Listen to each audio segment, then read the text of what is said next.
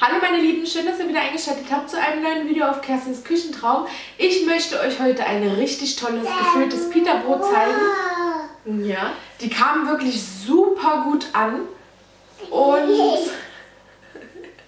du kriegst meine ganzen Videos. Gak, gak, gak. Auf jeden Fall ähm, sind die super gut angekommen. Sie haben allen gut geschmeckt. Auch hier Mister hat sie super schnell und ratzfatz aufgegessen. Ähm, ich habe mir gedacht, ich mache das Hähnchen so ein bisschen orientalisch und äh, das passte einfach super gut. Für das Joghurtdressing habe ich mir eine super habe ich mir eine super schnelle Variante einfallen lassen.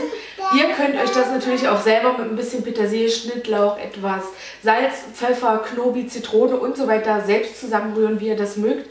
Ich habe auch schon ein Video, in dem ich euch zeige, wie ich meinen Joghurt selbst als Dressing mache. Ähm, das verlinke ich euch einmal unten in der Infobox, dann könnt ihr da vorbeischauen. Aber wie gesagt, für dieses Rezept habe ich mir eine schnelle Variante mit den Knorr-Gartenkräutern rausgesucht und ja, ich möchte euch jetzt die Zubereitung zeigen, die wirklich schnell und einfach ist.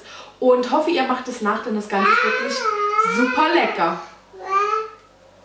Ich wünsche euch noch einen wunderschönen Tag und sage ciao, bis zum nächsten Mal. Kommen wir nun zu den Zutaten. Als erstes benötigen wir 5 Peterbrote.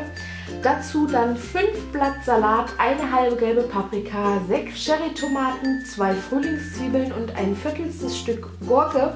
Außerdem brauchen wir ein leckeres Dressing, 500 Gramm Hühnerbrust in kleine Stücke geschnitten, ein halbes Stück Feta-Käse in kleine Würfel geschnitten und eine leckere Gewürzmischung. Die genaue Zusammensetzung und die Mengenangaben dazu schreibe ich euch unten in die Infobox. Ich habe es mir diesmal wirklich einfach gemacht mit meinem leckeren Dressing. Und zwar habe ich einfach 200 Gramm Joghurt verwendet und diesen mit einem Päckchen Knorr-Salatdressing verrührt. Schmeckt richtig gut und passt auch sehr gut dazu. Dann nehme ich mir die Gewürze mit einem Esslöffel Öl, vermenge das Ganze richtig ordentlich, denn damit werden wir gleich unser Hühnchenfleisch würzen.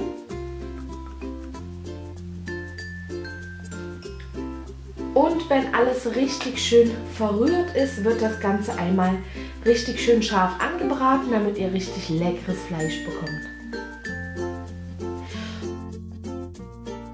Und dann nehmen wir uns einfach noch unsere Pita-Brote und die werden obenrum mit Wasser bestrichen. Und die lege ich dann auf ein Backblech. Die kommen bei 180 Grad für ca. 5 Minuten in den Ofen. Dann ist auch schon die Vorbereitung beendet und wir können unsere leckeren Pita-Brote füllen. Ich habe das als erstes mit dem Salat gemacht, verteile dann noch ein bisschen Paprika, Gurke, Frühlingszwiebel, Tomate und Feta darüber. Gebe dann etwas von dem leckeren Hähnchen dazu, ebenfalls was vom Dressing und bei mir kommt dann nochmal Feta oben drüber, weil ich den wirklich über alles liebe. Ihr seht also, die Zubereitung ist wirklich super schnell und einfach und es ist dazu noch richtig lecker. Und ich kann euch auf jeden Fall das Ganze nur ans Herz legen. Probiert es aus, schmeckt so gut.